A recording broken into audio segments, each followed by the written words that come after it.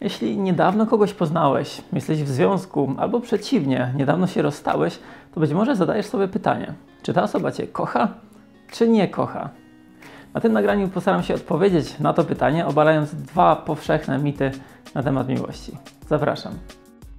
Zacznijmy od tego, że miłość nie jest zero-jedynkowa i odpowiedzią na to pytanie najczęściej nie jest czyste tak, ani bezwzględne nie.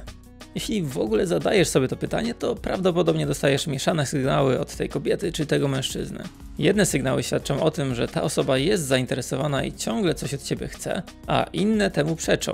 W tej sytuacji pytanie kocha czy nie kocha można porównać do pytania o to, czy szary kolor jest czarny czy biały, czyli żadna odpowiedź nie będzie dobra. Tak samo jest z miłością. Nie istnieje coś takiego jak mityczna, prawdziwa miłość, która albo jest, albo jej nie ma. Miłość to chemia w naszym mózgu i tak samo jak można kogoś lubić bardziej lub mniej, tak samo możesz kogoś kochać bardziej lub mniej, a intensywność tego uczucia ma całe spektrum rozpiętości. Od totalnej obojętności po lekkie zainteresowanie czy sentyment, przez zauroczenie aż do totalnego zakochania. Zatem zdecydowanie trafniejszym pytaniem jest, jak mocno jest ktoś tobą zainteresowany lub ewentualnie jak mocne są czyjeś uczucia do ciebie. Żeby skomplikować temat jeszcze bardziej, warto obalić jeszcze jeden mit. Uczucia nie są stałe. Ich intensywność zmienia się z czasem. To, że twój partner wyznawał ci miłość jeszcze dwa miesiące temu i planował wspólną przyszłość, nie musi oznaczać, że dzisiaj dalej tak samo cię kocha i nadal chce z tobą być. Ale działa to też w drugą stronę. To, że on teraz twierdzi, że już nic do ciebie nie czuje i mówi, że to już na pewno wszystko skończone i nigdy do siebie nie wrócicie, nie oznacza, że za dwa miesiące jednak za tobą nie zatęskni. Zwłaszcza kiedy dowie się, że ty też już nie chcesz wrócić i na dodatek już zacząłeś się spotykać z kimś innym. My, jako ludzie, jesteśmy fatalni w przewidywaniu tego, czy za jakiś czas będziemy kogoś kochać, bo nie mamy nad tym żadnej władzy.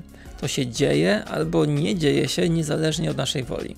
To trochę jak z biegunką. Jedyne co możesz stwierdzić to czy masz ją teraz. Trudno ci przewidzieć co będzie za miesiąc. Jednak z miłością mamy wrażenie, że będziemy wiedzieć. Po czym w takim razie poznać, jak mocno ktoś cię kocha?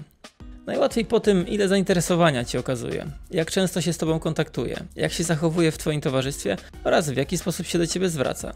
Zawsze trzeba patrzeć na całokształt czyjegoś zachowania, a nie na pojedyncze oznaki, które w oderwaniu od reszty mogą być mylące. Przy czym dużo ważniejsze jest to, co ta osoba robi, a już mniej ważne to, co mówi.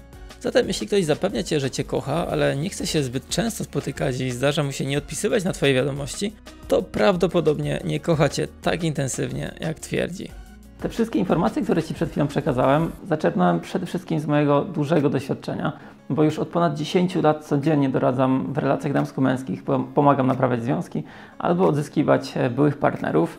Więc jeśli chciałbyś skorzystać z moich konsultacji, zapraszam na stronę